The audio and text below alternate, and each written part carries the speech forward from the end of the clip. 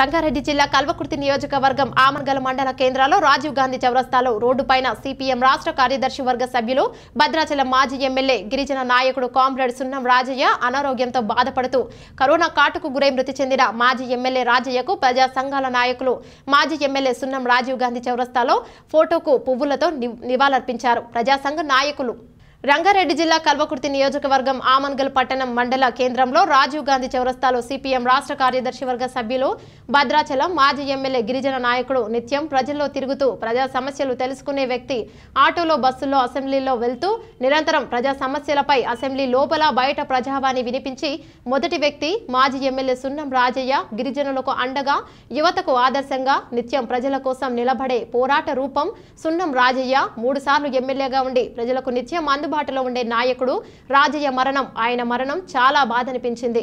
ప్రజాసంఘ నాయకులు ఆయన సేవలు గుర్తు చేసుకొని రాజీవ్ గాంధీ చౌరస్తాలో ఫోటోకు పూలదండతో నివాళులర్పించారు. రెండు నిమిషాలు మౌనం పాటించారు. ఆయన ఆత్మకు శాంతించాలని ప్రజాసంఘ నాయకులు మౌనం పాటించారు. ప్రజాసంఘ నాయకులు ఈ కార్యక్రమంలో పాల్గొన్నవారు జిల్లా గ్రంథాలయ సంస్థ మాజీ డైరెక్టర్ వి. జంగయ్య సిపిఎం నాయకులు లాలు నాయక్ జేఏసీ నాయకులు అవ్వారి శివలింగం ప్రజాసంఘ నాయకులు కాలే మల్లయ్య షీను యానుస్ ఈ కార్యక్రమంలో పాల్గొన్నారు. సార్.